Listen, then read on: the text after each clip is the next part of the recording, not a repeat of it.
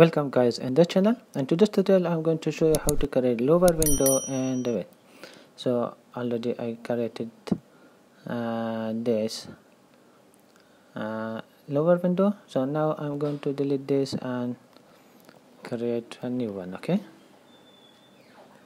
So let's start from change your unit. I'm going to use centimeter okay let's go to wall and from here select curtain wall okay?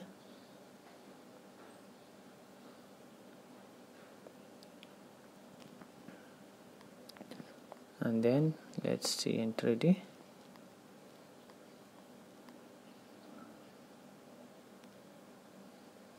and mullion.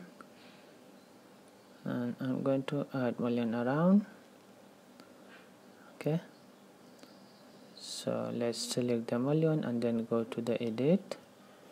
And from here I'm going to duplicate this create my own mullion so now from here I'm going to change the detail so let's change the angle to 45 and also from here I'm going to change the material. Something like a wood so let's find uh, something like this. Okay and then okay. Again let's go to the wall and then again select the curtain wall and go to the edit. And uh, let's duplicate this one again type curtain wall okay. And okay.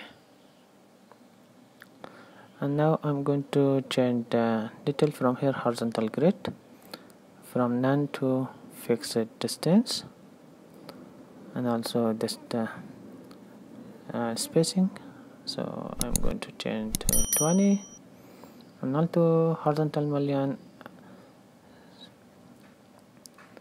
so the let's select your mullion that you now I already create a few minutes ago. So after you set up and then okay.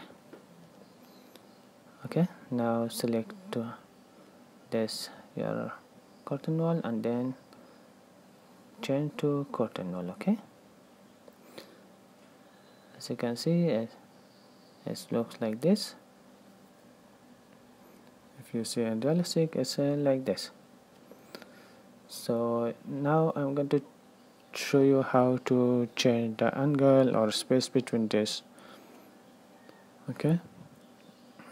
Go to curtain wall edit and from here you can change the space between the each plate. Maybe if you want to change to 30 as you can see it's changed it to 30 the distance between the every plate or maybe 50 you can see it's look like this. So far from here okay? So let's change to 30 and then okay. Okay? So if you want to change the angle go to the mullion and then edit and from here you can change the angle of this every plate. Maybe if you want 20 degree it's like this. Or maybe uh, let's turn to zero it's this angle like zero it's completely open. So if you want to turn to 90 so it looks like that it's closed. So I see a little gap from here. Let's change the thickness from here. To 30 as you can see now it's uh, closed okay? Uh, so uh, now I'm going to change this angle. So let's change to minus 45 it's like that. It seems the open to outside like that? Let's turn to 45 like this okay? If you want to change the material from here you can change the material as well. And then if you want to change the weight uh, if you want to change let's try this. As you can see it's so white. I'm not going to change like this it's back to 05 okay?